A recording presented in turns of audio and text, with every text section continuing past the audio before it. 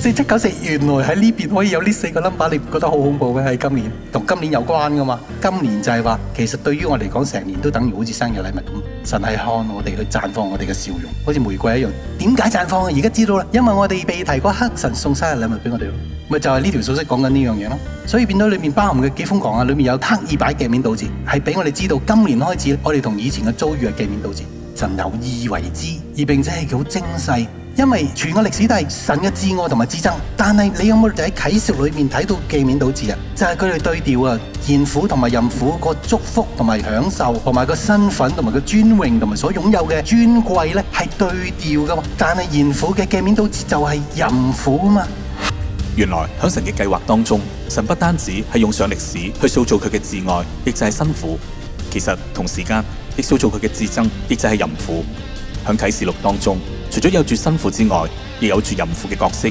佢哋嘅结局系会喺一日之内顷刻之间改变。当淫妇与世界为友，与君王行淫嘅时候，佢得着赞赏、富足，有住名誉、地位集于一身，沉浸于最终之乐。但当神嘅审判到嚟，大淫妇系喺一日之间失去所有。而启示录系用上十八章全章去提及淫妇巴比伦系点样喺一日之内被神审判。然而，对于新婦而言，雖然一生當中為咗尋找神嘅緣故，為尋找良人而經歷百般嘅試煉，當中所換取嘅，卻係永恒嘅幸福。